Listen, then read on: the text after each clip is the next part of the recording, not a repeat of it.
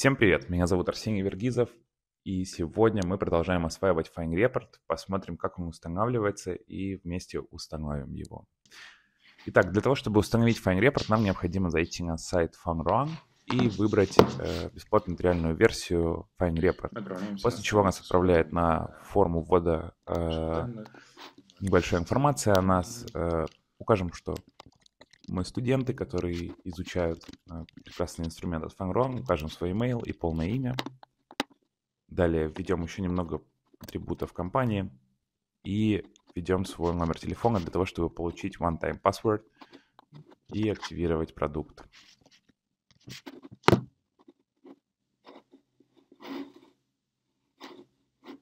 Итак, э, загрузка должна была начаться. Да, все так и есть. На экране у нас представлен наш э, activation код, который мы впоследствии введем и активируем продукт. Сейчас мы загрузим э, дистрибутив. Дистрибутив загружен. Запускаем его через обычный мастер установки. Э, в моем случае это Mac, но в случае с Windows это не будет сильно отличаться. Э, в целом все те же конфигурации. Что касается Linux, я оставлю документ в описании – Э, в соответствии с которым вы сможете установить при необходимости и на Linux Fine Report. Итак, выбираем э, минимальный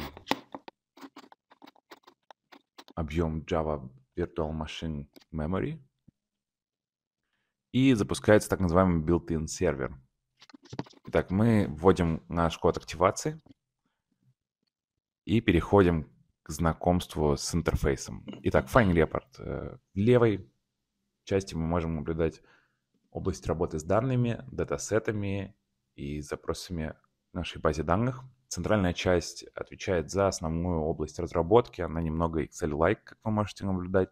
Можно добавить различные э, листы, различные листы по верстке дашборда. А также это все происходит в пределах одного рабочего листа, который э, вы можете наблюдать сверху. Можем создать несколько таких. Здесь находится панель с параметрами, куда непосредственно мы переносим все наши фильтры, как видите, кнопка, drop-down box, э, фильтр по дате и так далее. Э, выбор виджетов довольно широкий. И в правой части мы можем наблюдать окно конфигурации э, визуальных элементов, которые находятся в основной части разработки. Как видите, Тут различные также настройки виджетов э, по условиям, условное форматирование, все это настраивается здесь. В левой части мы видим каталог, э, различные каталоги. Это наша домашняя директория, куда, где мы непосредственно и ведем разработку. Давайте посмотрим э, на то, что уже предустановлено у нас. Идет по дефолту при установке Fine Report. Как видите, здесь различные формы сбора данных. А, в дальнейшем мы посмотрим на них на сервере.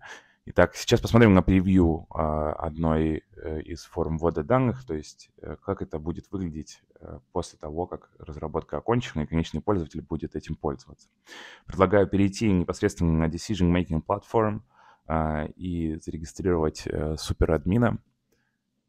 Закроем наше превью. Итак, э, при первом входе э, вам необходимо задать пароль для суперадминистратора. Э, рекомендую сохранить его, так как он не так просто меняется в дальнейшем. Что касается built-in и external database. Это значит, что вы определяете базу данных, где FineReport будет регистрировать все действия, логи, прочую информацию. Он может либо развернуть ее внутри себя, но если же вы планируете осуществлять деятельность, работу с большими данными, конечно же, мы рекомендуем устанавливать внешнюю базу данных, то есть external database, а, и открываем непосредственно нашу платформу принятия решений. Как вы видели уже в прошлом видео, э, в целом она не сильно отличается как по содержимому, э, так и по возможностям. Э, единственное отличие, что демо-платформа, представленная в прошлом уроке, она является демо-платформой одновременно для двух продуктов, как FineReport, так и FineBI. Здесь мы можем как раз-таки посмотреть версию нашего Fine Report и вот Report Module э, версия 11. И, соответственно, если мы создаем связку с Find BI, то появится еще один раздел, это BI Module. А, и, собственно, та самая форма сбора данных, которая отображается на нашей платформе, куда пользователь заходит и непосредственно вводит данные. А также э, различные дашборды.